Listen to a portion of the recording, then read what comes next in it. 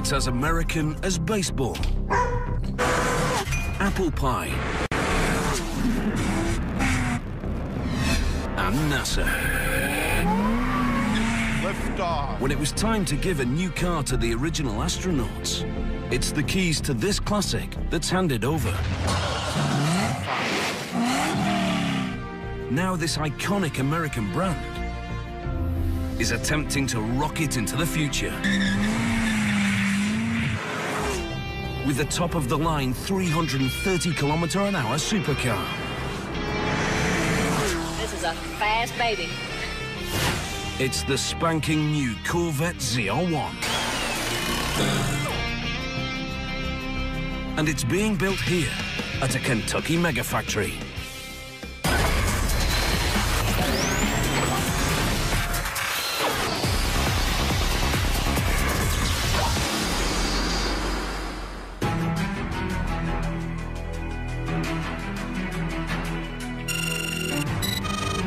The ZR1 begins as an unsanctioned secret project. A secret whose goal is to transform a regular Corvette sports car into a full-blown exotic supercar. The ZR1 really came out of a review with our CEO. He was so impressed with the product plan, and he wondered aloud, geez, I wonder, what would a $100,000 Corvette look like? The offhanded remark by the head of the company leads to a totally unauthorized project. In history, all the, the coolest cars have always come from one guy who said something. Five engineers work behind closed doors. To hide what they're up to, they use a clandestine code name. We couldn't talk about the car, obviously, because people in the hallway or other parts of GM would know we were referring to an unauthorized program, so we came up with a code name.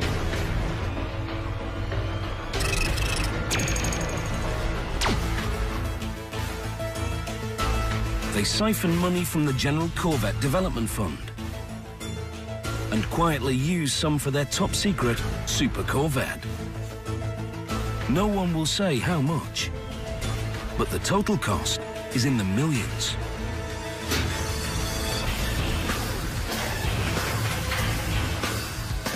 After months and months of clandestine work, they reveal their creation to the boss. We put together the technology that we wanted to put in the car, assembled a business case, and then that gets run up the chain of command.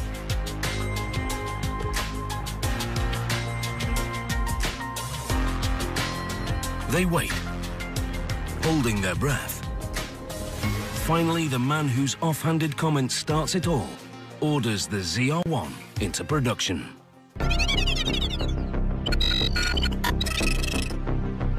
No more need for code names. The engineering team publicly calls itself Team Super Corvette. And their goal is simple to describe, but hard to accomplish. Build the fastest, best handling Corvette ever made.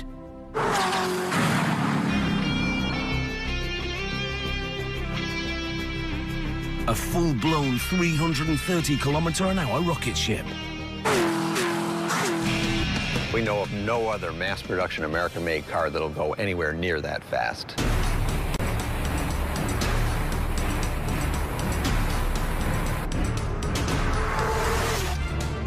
The challenges of getting to 330 kilometers an hour are enormous.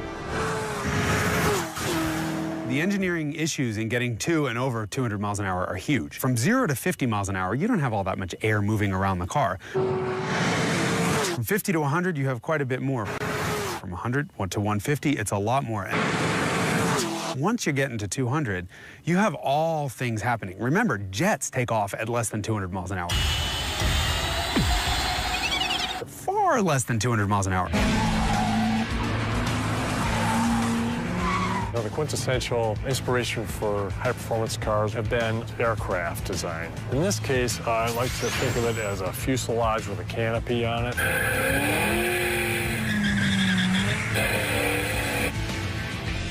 The ZR1 actually shares many attributes of an aeroplane.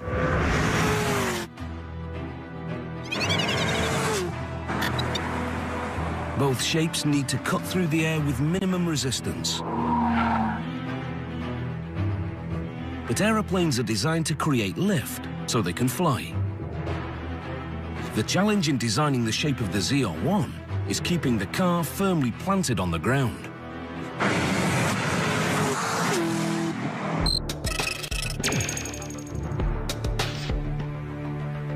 To achieve speeds like that, you have to manage the air around the car such that you get no lift or even downforce so that the car is being pressed into the ground as you go faster and faster.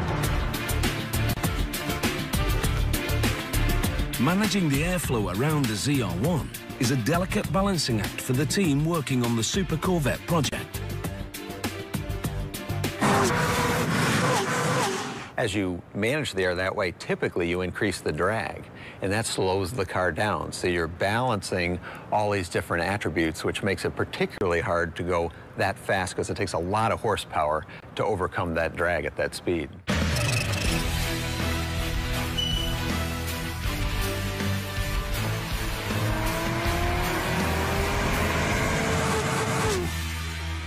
In the supercar universe, 330 kilometers an hour is the automotive equivalent of breaking the sound barrier. Only it's on the ground. To do it, Team Super Corvette determines that they'll need an engine that exceeds 600 horsepower.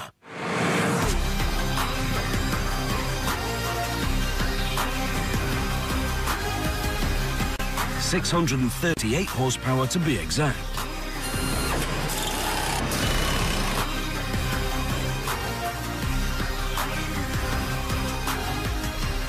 That's a lot of power to get out of a traditional American V8 engine. It's a challenge that takes nearly three years to solve.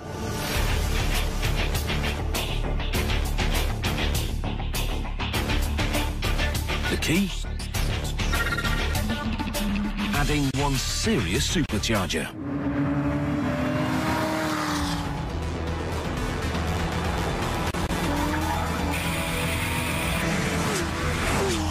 The supercharger was first introduced on the ZR1. It was a, a breakthrough on supercharger efficiency. So that means it took less power to actually run the supercharger and forced more air into the engine, and the net result is more horsepower and better efficiency. Dozens of prototype engines are built and tested, not only in the lab, but also at one of the most famous racetracks in the world. Well, we've taken the ZR1 to the Nürburgring in Germany. It's a very long track. It's a very difficult track. Team Super Corvette takes home movies of the ZR1. The car sets one of the fastest lap times ever. For a production sports car with the guts to take on the Nürburgring. Yeah, the Corvette team is really doing this Super Corvette. That is the most powerful GM engine ever made for a vehicle. Those 638 horsepower allowed the ZR1 to do this.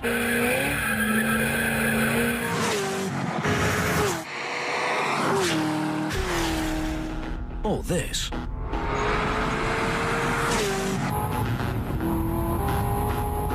Top speed runs at 330 kilometers an hour.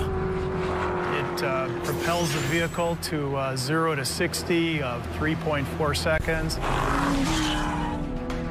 Now the challenge how to actually produce a supercar in a sports car factory.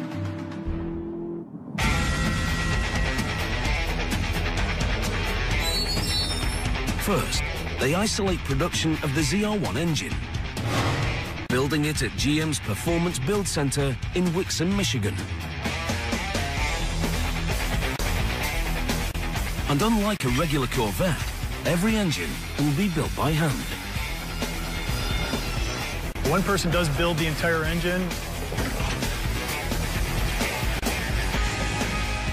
The people who hand build the ZR1 engine are experts when it comes to speed and power.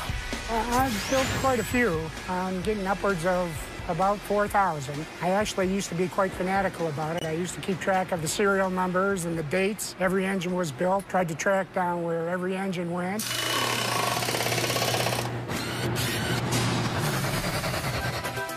It takes about three hours to build one engine.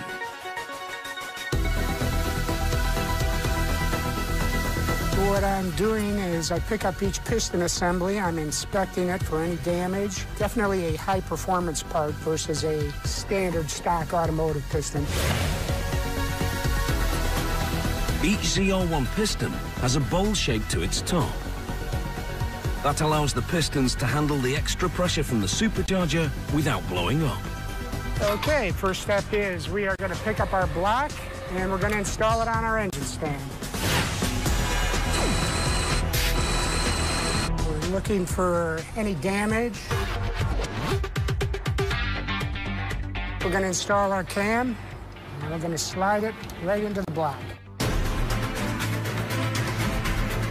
We're installing our crankshaft and we're going to drop it into the block.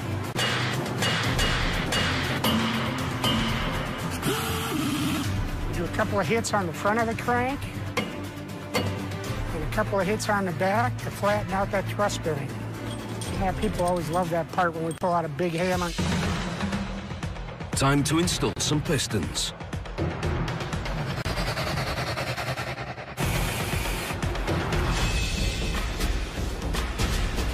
Okay, our next step is we'll install a water pump.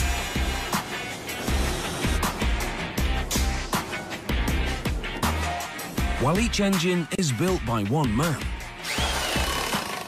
it sure helps to have a friend to lift the 34 kilogram supercharger in place. Perfect.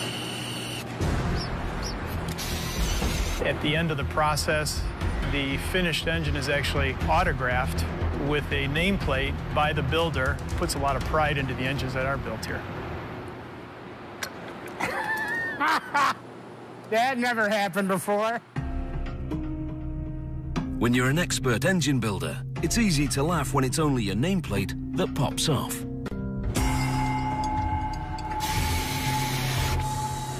But when it comes to what's inside each engine, they expect it to be perfect. When you're developing this much horsepower, we want this engine to run as smoothly as possible. So they do something few other automakers do. They balance the engine. It's like fine-tuning the power plant before it leaves the factory. We're going to actually fire the engine up on natural gas and use the computer to pull a balance reading. From there, we'll actually insert weights, fine-tune the balance of the engine. Balancing an engine has to do with weight distribution.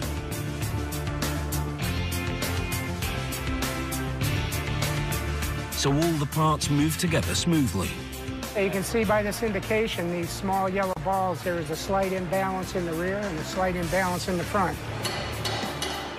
So he adds small weights at precise points. Final run here, fire it up once more. Give it just a few seconds to smooth out. And we're good. We're within the circle with both our yellow indicators. The engines are shipped to GM's Bowling Green, Kentucky assembly plant. This is where they build the ZR1.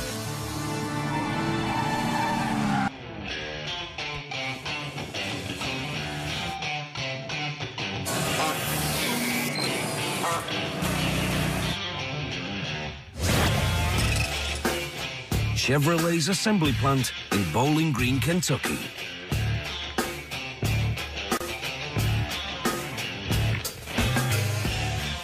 Opening in 1981, this is the only place in the world where they build Corvettes.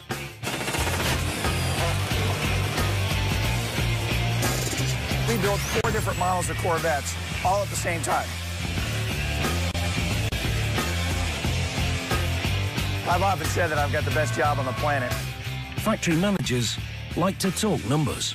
The plant is about a million square feet. We've got about 450 uh, UAW employees. We've got about 100 salary folks that uh, are here every day doing their piece of the pie to make this beautiful car come together. But in Bowling Green, the numbers they like best come from the top-of-the-line Corvette ZR1.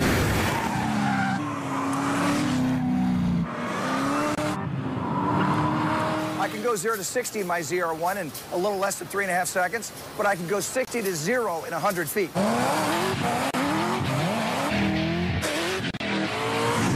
So think about that. In less than the length of a basketball court, I can stop the car. The ZR1 is the first Corvette that's a true outright supercar.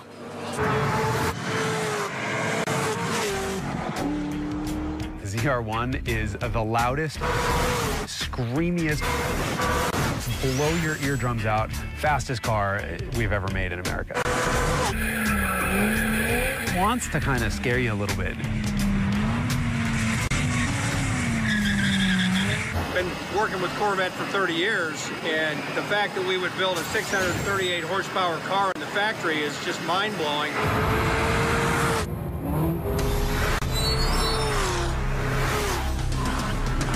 The ZR1 is the newest Corvette.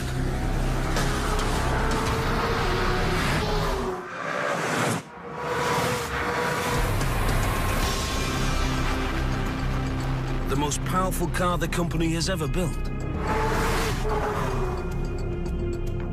The fastest car Chevrolet has ever made. And the most expensive.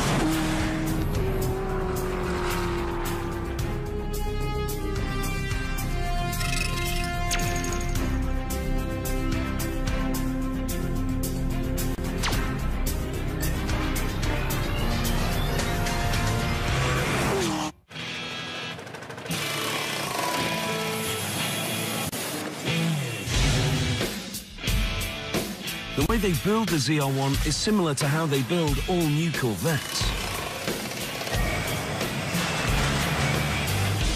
The most dramatic difference isn't the process, but the materials that they use. Materials that are lighter,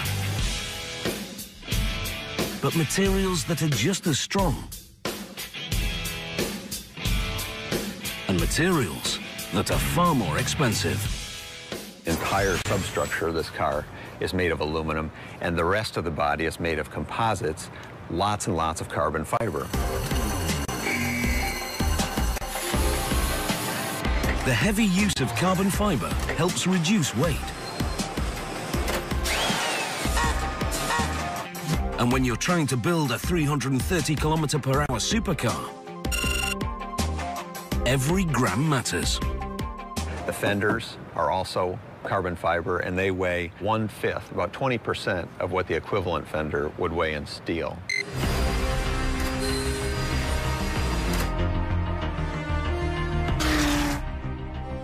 But using lightweight materials alone isn't enough. In order to push the ZR1 Super Corvette to 330 kilometers per hour, engineers need to shave weight everywhere they can. So they decide to leave some of the carbon fiber pieces intentionally unpainted. But that creates a whole new problem. Unpainted carbon fiber breaks down under ultraviolet rays from the sun.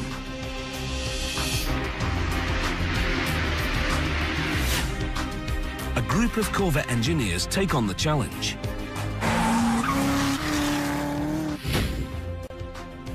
They spend three years of their own time after work to develop a technological breakthrough. A glossy clear coat that keeps unpainted carbon fiber from fading in sunlight.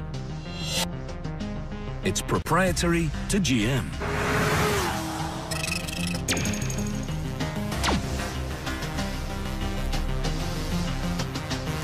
ZR1 was the very first car to introduce exposed carbon fiber with full ultraviolet protection. That means for the life of the car, the carbon fiber will look good. A lightweight roof is a critical part of the car's design. The reason we have the roof carbon fiber is to take weight out up high in the car to try to drop the center of gravity. But Team Super Corvette can't simply turn every piece of the car into carbon fibre.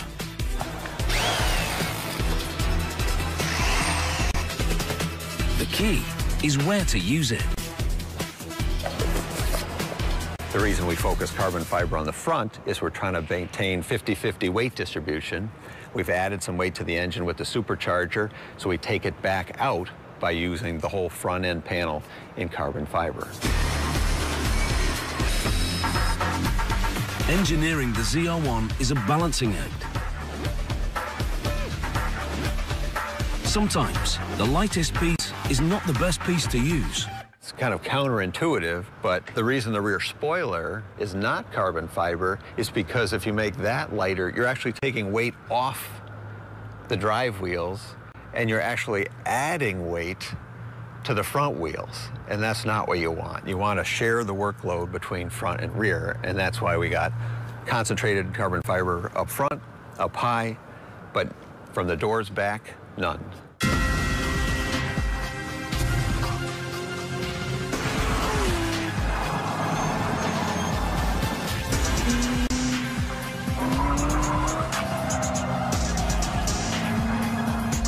Cool thing about the ZR1 and the technology that this car has now, this car is as good as race cars I drove probably a dozen years ago. Building a Corvette starts with its frame.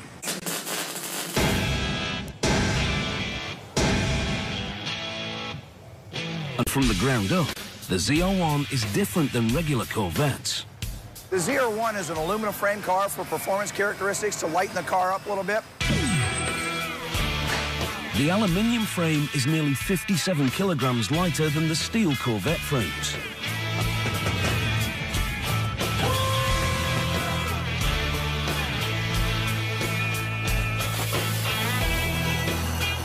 And light means fast.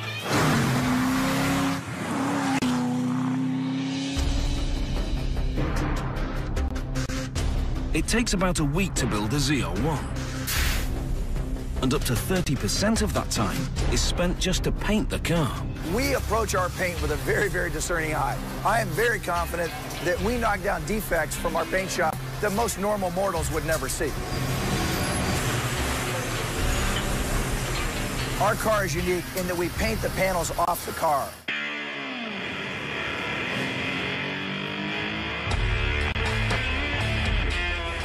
Body parts for one complete car are placed on a special carrier.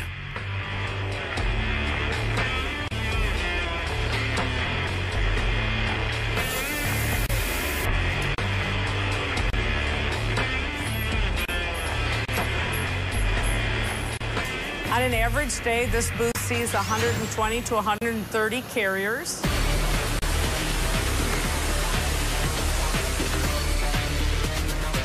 First, every carrier goes through its own car wash.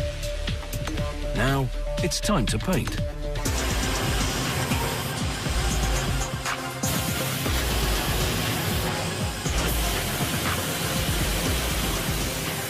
This is currently the ZR1 leaving the prime spray booth. It goes into an oven where it stays for approximately 35 minutes at 265 degrees.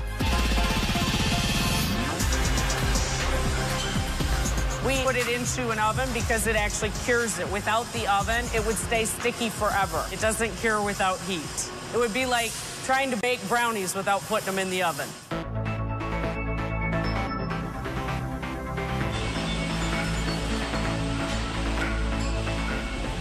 They rub down all the body parts by hand.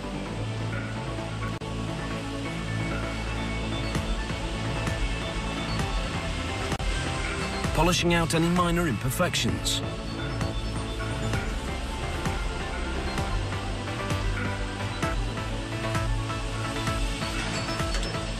And wiping the car down by hand to make certain the primed body parts are clean.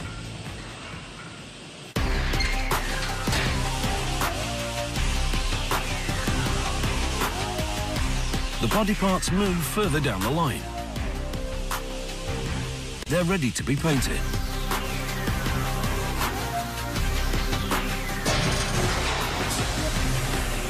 For efficiency, they paint Corvettes in batches of the same colour. This morning, we've seen lots of red Corvettes, but that's not the only color we paint. We paint yellow, black, gray. Actually, we have 10 colors in our palette.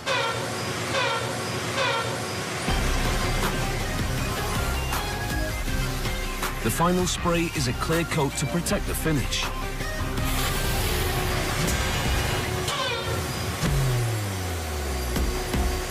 And another oven to dry the paint. When they actually cure, it becomes a urethane or a polyurethane, somewhat similar to what you might do your floors at home with.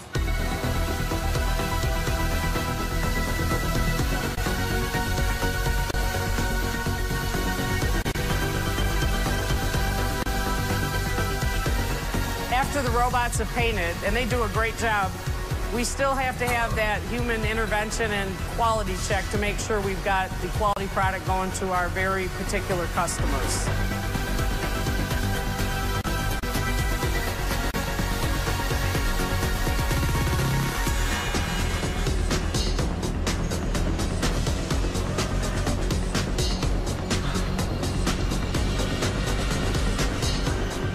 Our folks use their eyes, you know, obviously very much to inspect, but they also use their hands.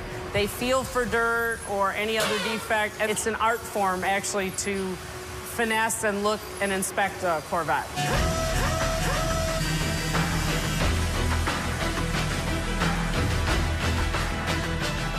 Next to the paint shop is what they call the car track line.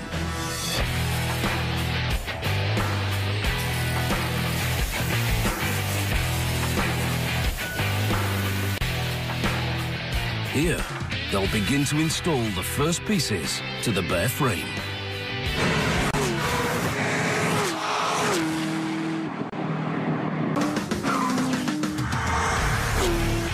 The Corvette ZR1 is full of surprises.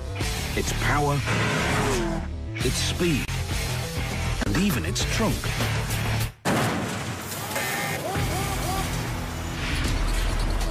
On the car track line inside the Corvette assembly plant, workers sub-assemble what they call the tub. It forms the trunk in every Corvette model.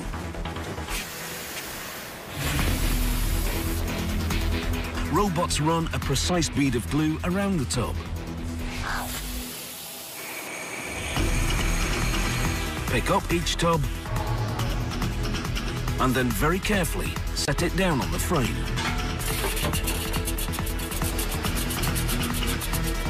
They call it gluing and screwing.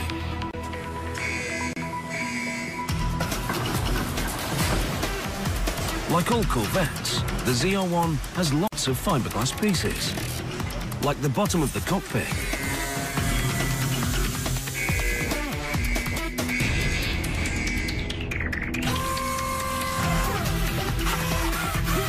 Pieces you never see.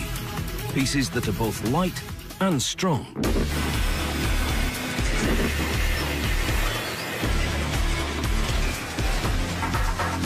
At another station, they're pre-assembling the dashboard.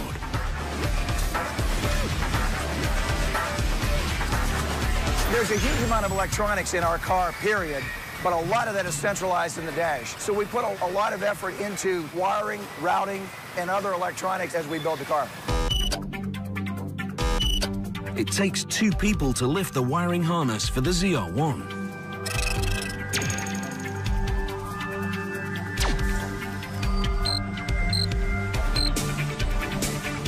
Connecting gauges, heating and air conditioning, and the nav system. We find the most effective way to build this car is to build the dash assembly up separate, assemble it to the to the frame, to the cockpit and the tub over in CarTrack. We do some sub-assembly work on the cockpit. We apply the urethane, structural urethane to the joint. The U-shaped item behind me in orange picks up the cockpit, shuttles it to the car, and then lowers it down into the joint, what would be the firewall of the car.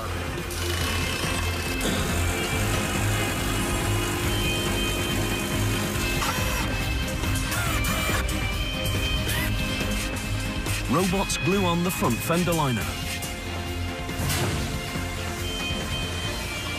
It takes about seven litres of urethane sealer to glue together a ZR1.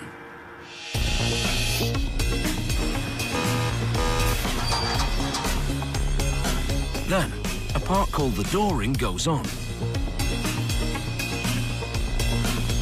It's a critical part for the entire car.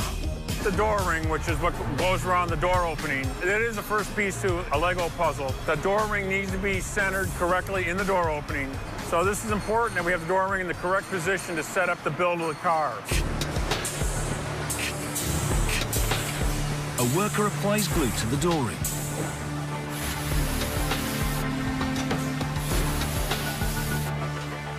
Then a special jig moves it into place holds it there until the glue dries.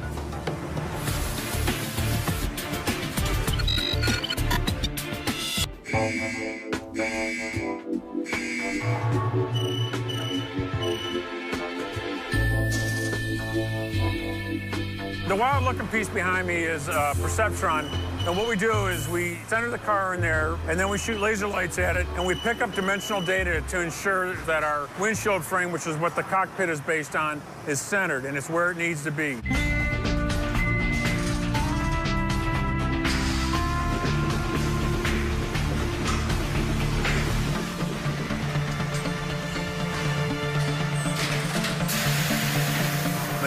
Leaves here, goes to the elevator, goes upstairs, goes to the overhead conveyor, and it's on its way to General Assembly for the final processing.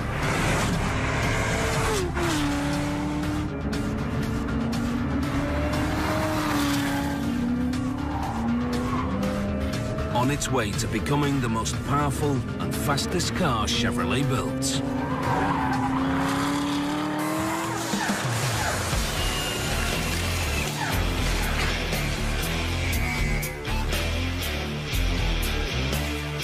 Some Chevy workers specifically asked to work at Bowling Green.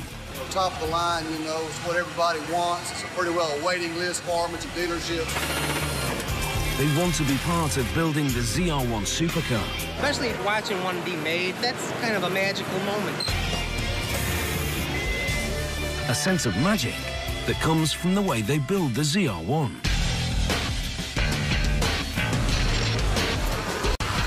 Well, right now we're at General Assembly. Anything that a customer can see, we end up putting on in General Assembly. From here until it leaves the factory, each Corvette carries a unique build sheet. And if that build sheet happens to have the ZR1 designation printed on it, everyone inside the factory knows that they're building something special, a full-blown supercar.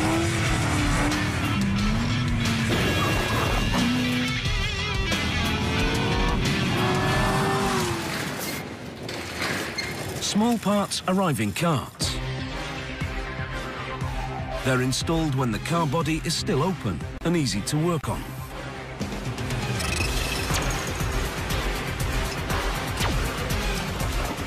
Seat belts. Rear speakers. Batteries.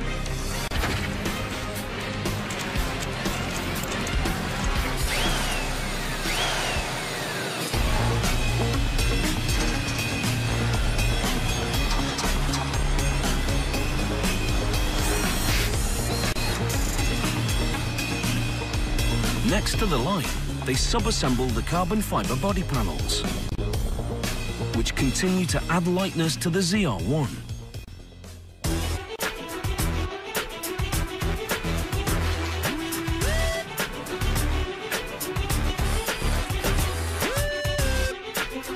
They put on the rear fenders.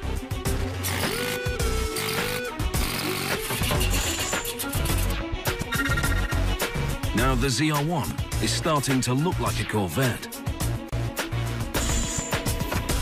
Best car they make. Work at the Corvette plant, and you build the cars. This is a fast baby. I do the sub-assembly and put all the parts I put on and give it to Mary Jane, and she puts her parts on. On a ZR1, the rear fascia requires one more special step.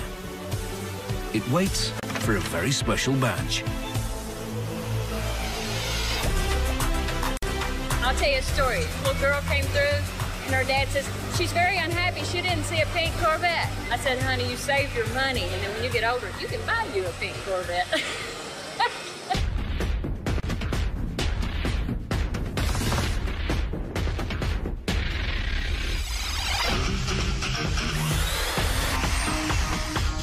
They adjust the hatch to fit just right.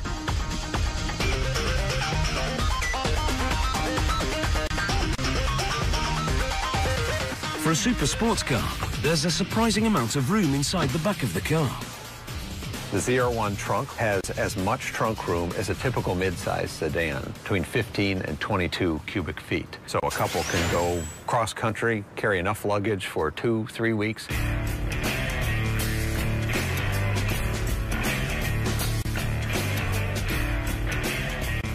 Hoist swing seats into the car.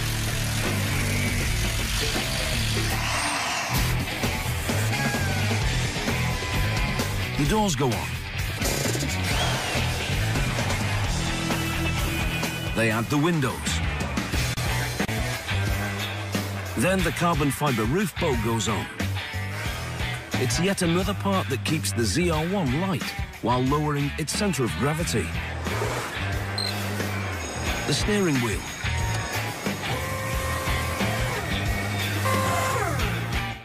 The windshield. The glass in the rear hatch.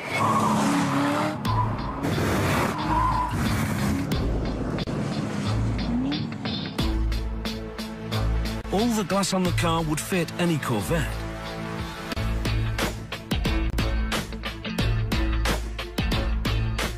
But for the ZR1, some pieces and shapes are different by design. One of the things you'll notice is a larger opening in the front for more air to flow through because the engine requires more for cooling. They sub-assemble and install a special radiator for the ZR1. It's all aluminium and holds nearly 7% more coolant than a normal Corvette radiator. It's a unique build, a little bit different than typical assembly plant.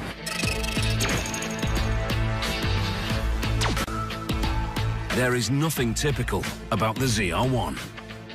How many people can go home at the end of the day and say, hey, I build Corvettes for a living?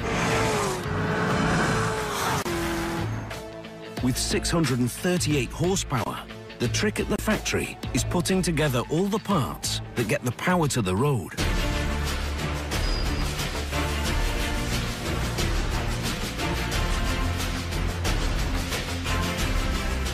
Are where the uh, drivetrain is put together on the Corvette. You have your transmission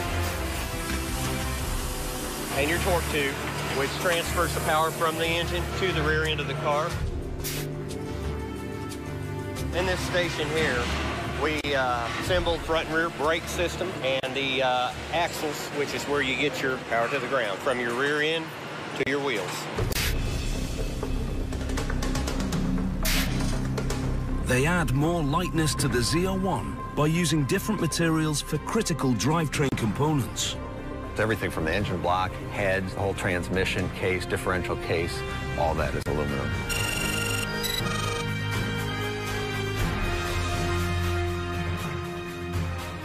They'll be bringing the engine for this car here over and mating it up with this transmission and torque tube.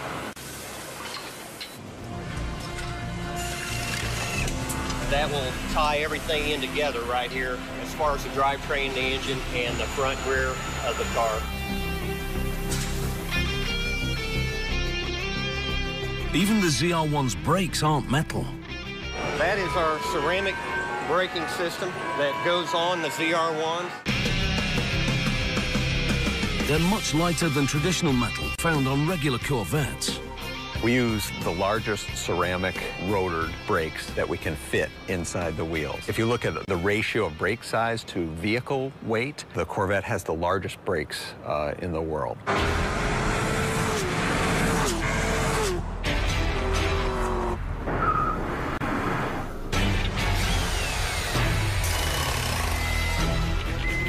Next step, marry the drivetrain to the body. A new ZR1 is about to be born. The ZR1 Super Corvette is fast. Launching from a standstill,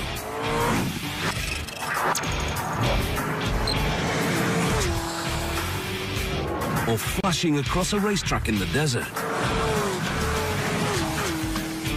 All that power comes from this drivetrain. A drivetrain that's just been completed in the Corvette factory.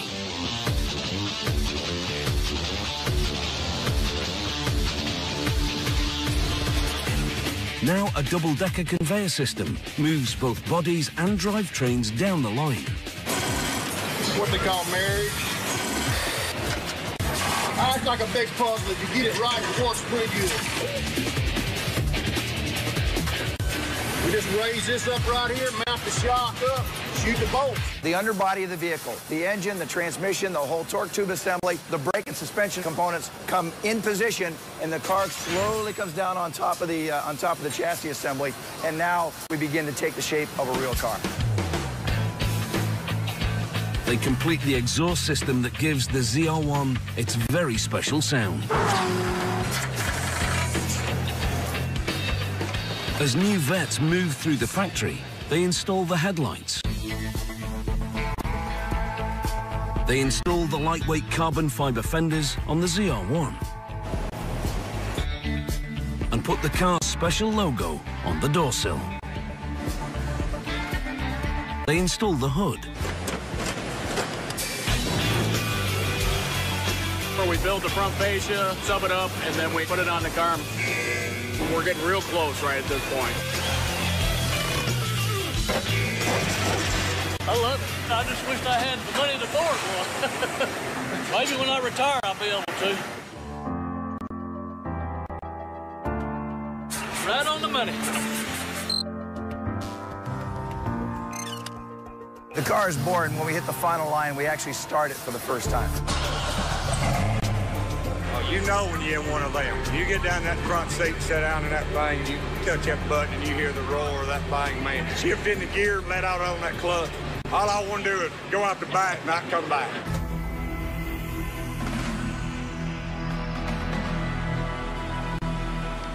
Then it's out of the factory for delivery to customers everywhere.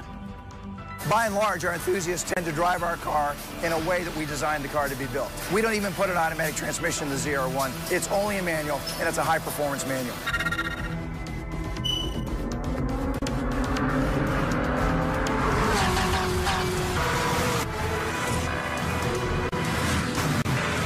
That manual transmission can get a heck of a workout. When it's let loose on a racetrack.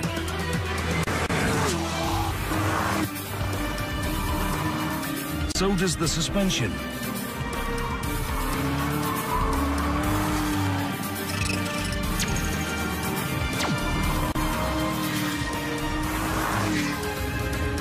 But it's helped by computers that constantly monitor and adjust the ride. The ZR1 is a high-tech supercar. If you look under the skin of this car, you'll see computer modules. They don't look like your computer laptop at home, but they're aluminum boxes with circuitry and specialized integrated circuits that do that computation for not just the suspension, but all sorts of vehicle functions.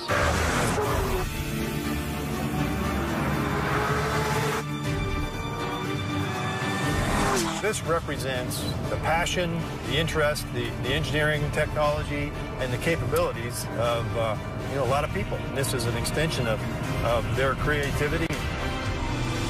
A secret, unauthorized project that becomes the fastest, most powerful,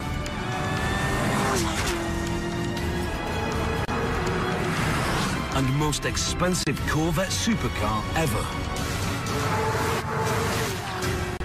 The ZR1.